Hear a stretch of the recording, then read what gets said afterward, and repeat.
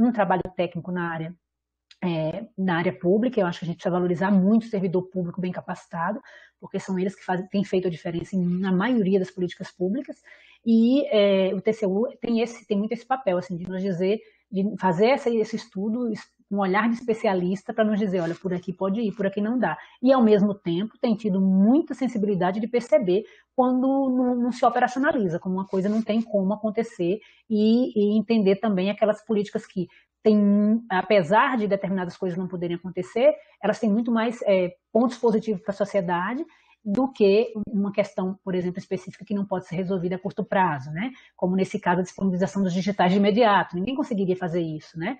Por causa de todas essas, essas, essas limitações legais, inclusive. Mas essa sensibilidade é super importante. E a gente agradece muito a tua presença e é sempre é, bom ouvir vocês. Obrigada, Jackson. Obrigado, Nádia. Obrigado pelas palavras. Uh, boa tarde a todos. Uh, minha saudação a todos os presentes. Uh, eu começo ah, parabenizando o FNDE pela aproximação de todos os envolvidos, né? professores, secretários de educação, controle, órgãos de controle como o TCU, é, e dada a importância do trabalho em rede, né, em regime de colaboração, foi uma coisa muito falada agora uh, pela Nádia. Né? Ela falou com muita propriedade sobre conexão e interconexão.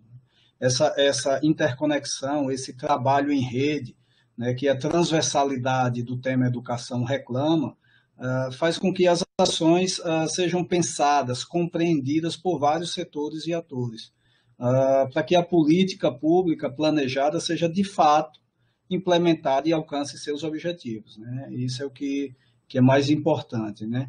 E, e, e é da ação efetiva de todos esses atores uh, que uma política descentralizada como o PNDL, PNLD, consegue ter sucesso. Né? E essa interlocução, Nádia, é, é importantíssima para esse objetivo. Né? Então, é uma satisfação pessoal muito grande fazer parte desse, desse tipo de evento. Uh, e o TCU, como um desses atores é, que integra essa rede, né, sempre, que for, sempre que for chamado, se fará presente. Uh, já que sua ação, a ação do TCU, também impacta diretamente na implementação de políticas públicas, o que, de certo modo, de certo modo não, certamente, está alinhado com sua missão institucional, né, que é do aperfeiçoamento uh, da administração pública. É, pode passar o primeiro slide, por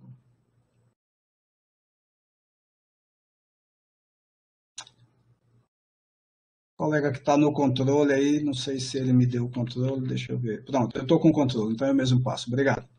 Ah, o, o, eu trouxe esses trabalhos para destacar que o tema educação ah, sempre né, foi uma preocupação do TCU, da sociedade como um todo, e, e o TCU há muito que ele se debruça é, em seus trabalhos na avaliação de programas do FNDE. Né? E o PNLD é um programa federal, então fica estabelecida a competência do TCU para atuar no acompanhamento e fiscalização do programa, porque é recurso federal, então atrai a competência uh, do TCU. E, e, e, essa, e essa atração, além né, do dispositivo legal de competência, é, pela materialidade envolvida, a gente viu os números gigantescos né, que envolve Geralmente, todos esses programas do, do MEC, do FNDE, é, são, são enormes quando a gente compara com outros países, ah, mas também a, a, importância social que tem um programa desse, né, mais especificamente na educação. E, e aí eu trago, eu recupero assim, uma expressão que eu gosto muito, que a gente usou por algum tempo aqui no tribunal, de acórdãos transformadores, ah, que eu costumo transcender é, o âmbito profissional para o meu dia a dia, né? ações transformadoras. Né? E aí eu vou, vou na minha fala, é, mencionar essas ações em relação a essa rede que compõe a, o programa. Ah, mas aqui eu vou chamar só de emblemático representativo, né? esses acórdãos é, que tem nessa, nesse slide. Né? É, o, o acórdão, o, o, TCU, ele se manifesta por meio de acórdãos é, é, é, pelos acórdãos que o tribunal determina que se faça ou se deixe de fazer alguma coisa, recomende, aplica sanções quando cabível, enfim, é um instrumento de comunicação de suas deliberações.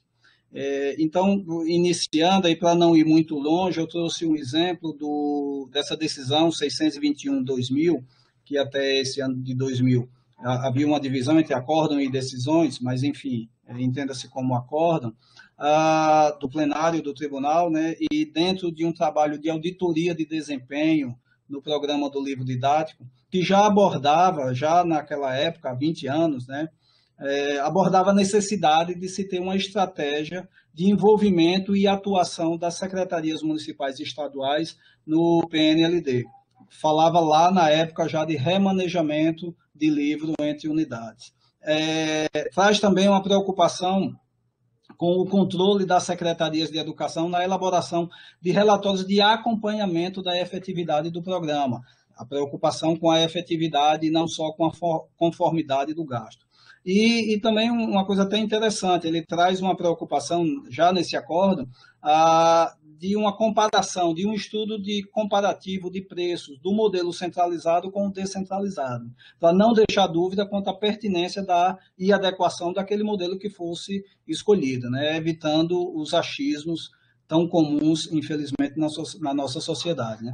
Ainda lá nos anos de 2004, já se falava na, na implementação de um sistema de remanejamento, né, o Ciscorte, né, e avançando um pouco mais, temos um acórdão de 2012, o 2954, que traz a preocupação com o monitoramento da entrega dos livros e o remanejamento entre escolas. Veja que essa preocupação do remanejamento não é recente, ela já vem de muito tempo.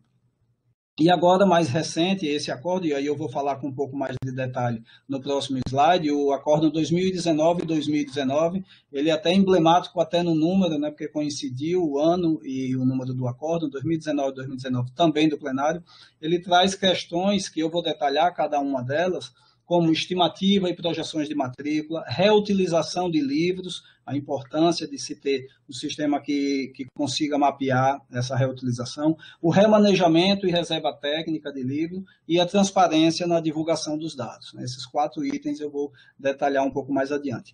E, por fim, nesses acórdãos que eu trouxe, o 3.186 de 2020, também do plenário, que, na verdade, é um, é um processo, está dentro de um processo de monitoramento do 2019-2019. Né? Monitoramento, só para contextualizar, a processualística do TCU é um procedimento que é adotado pelo tribunal como um processo próprio para acompanhar o atendimento a determinações e recomendações feitas em processo anterior. Então, esse esse, esse acórdão 3.186 é dentro de um processo que foi autuado para acompanhar ah, o cumprimento das deliberações feitas no 2019 e 2019.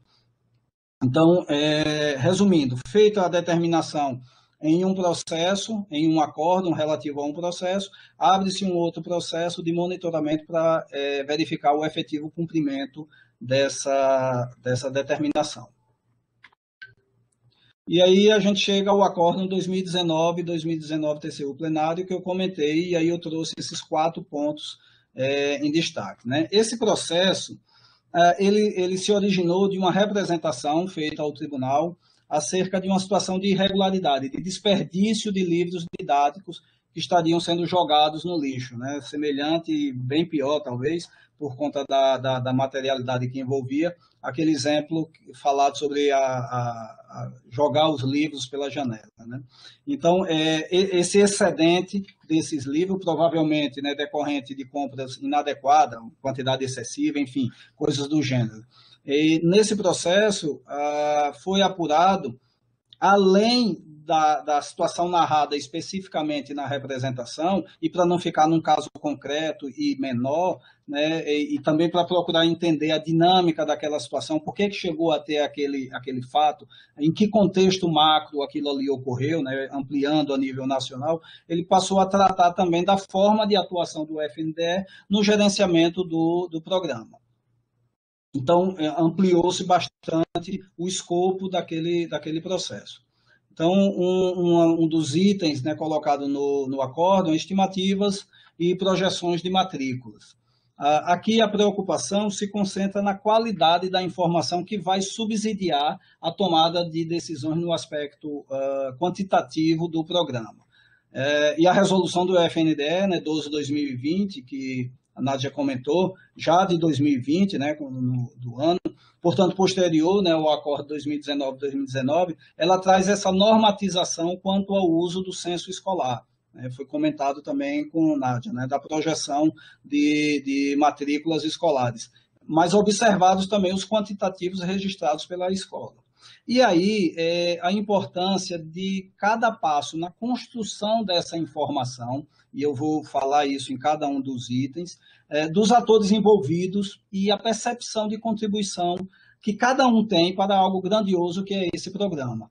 É, é para, com isso, a gente evitar compras desnecessárias, excessivas, com desperdícios de recursos e em prejuízo ao programa. A consciência de cada um, de toda essa rede, né, quando vai se fazer aquele trabalho que, por mais simples que seja, ter noção de que ele faz parte de um trabalho bem grandioso. A gente vê a empolgação da Nádia quando fala do programa e a gente deve usar isso como exemplo e se contagiar com essa empolgação e ter uma dedicação bem específica em relação a isso. Reposição de livros reutilizáveis. É uma dificuldade, né? não tenha dúvida de se ter uma informação segura daqueles livros ah, que não são os livros consumíveis, né, os reutilizáveis. Se eles foram devolvidos, em que estado eles foram devolvidos, para ver se são reutilizáveis mesmo ou não. E isso impacta muito né, a, na projeção da aquisição. Daí a preocupação do tribunal de cobrar do FNDE uma ação em relação a isso a importância é, do, de, de, existir sistema que funcione. Mas veja, é, isso não quer dizer complexidade de sistema apenas que eles funcionem. Né? E, mais uma vez, o engajamento de todos é importante nessa conscientização conscientização da importância do programa e o papel que cada um dos atores tem nesse, nesse, nessa rede né, de que falei no início. Não é um sistema complexo que determina a efetividade, e sim a qualidade da informação lançada. E aí é que entra a importância do trabalho uh, realizado por cada um, cada um de nós, né, que, que integra essa rede, essa enorme rede da educação. Uh, o cuidado na alimentação dessas informações leva a uma maior possibilidade de sucesso de toda essa complexa rede logística que, que a gente viu uh, na exposição da Nádia. Né? E isso faz uma enorme diferença no sucesso do programa. Né? Eu tenho certeza disso. Ninguém, ninguém, ninguém ah, pode imaginar que alguém seja a favor ou descuide de uma ação que leve ao desperdício de um bem tão precioso quanto o livro didático. Remanejamento e reserva técnica. Né? Esse talvez eh, traga a, a, maior carga de complexidade, dada a complexidade, a dificuldade, melhor dizendo, da logística, né? É, para o remanejamento dessas sobras, né? E, e, uma definição mais precisa dessa reserva técnica, uma coisa impactando outra. Então, muita, muito, muito complexo, demanda muita atenção. Né? É, os problemas eles podem ser mapeados, né, como, enfim, com análise de risco, como transporte, comunicação, qualidade de informação, enfim. O que mais, uma vez, reforça a importância desse trabalho em rede e muito bem coordenado, como vem se falando desde o início. Né? E, e, e, mais uma vez, e propositalmente, né, de forma repetitiva, é muito importante esse trabalho que o FNDE faz em trazer para as discussões nesses encontros técnicos todos os envolvidos no programa. E agora, né, com infelizmente, na situação que a gente está vivendo, mas com o uso da tecnologia da informação, das comunicações que a gente tem hoje facilitado, é, a gente consegue alcançar um número maior de pessoas presentes, apesar de virtualmente, nesses programas, como estão sendo feitos agora é, a nível de cada estado. Né? Então, esses encontros que antes eram regionais, hoje se consegue ter esse encontro estadual graças a, ao uso dessas ferramentas. Né? Então, isso traz, é, e é importante que a gente tenha esse sentimento, um sentimento de pertencimento ao programa, né? que ele é tão importante na, na, no dia a dia que a gente está é, executando, prestando informação, trazendo, internalizando a consciência da importância do, do, do, do programa. Então, assim, o cuidado com a informação prestada é essencial para que os gestores lá atrás, né, possam alocar os recursos de forma mais uh, adequada. E por último desses itens, transparência na divulgação dos dados. Né? A transparência deve estar sempre presente nas preocupações da sociedade, né? dos órgãos de controle, dos gestores também, enfim, de todos a transparência, quando envolve recursos públicos, ela deve estar presente sempre. Né? E o tribunal, ele, o TCU, ele se preocupa sempre com esse aspecto da execução de políticas públicas, e o, PN, o PNLD não foge a isso, né? É, que sejam pontuadas as oportunidades de melhoria quanto à transparência, especialmente quanto à disponibilidade de dados abertos, que é o que especificamente o acórdão traz quanto à transparência. Então, a transparência é chave né, para o incremento do controle social de que somos tão carentes né, e que temos muito a avançar. Né. O controle social ele é bom para o gestor, ninguém pense contrário, ele é bom para o controle institucional e também é muito bom para a sociedade. Qualquer ação que facilite ou que incremente o controle social sempre é muito bem-vinda bem e sempre é muito é, necessária. Então, reforçando, só o que eu falei rapidamente é, antes. Sistema de informação e qualidade e de qualidade e precisos para que as informações reflitam a realidade com alto nível de transparência. Né? Isso é essencial.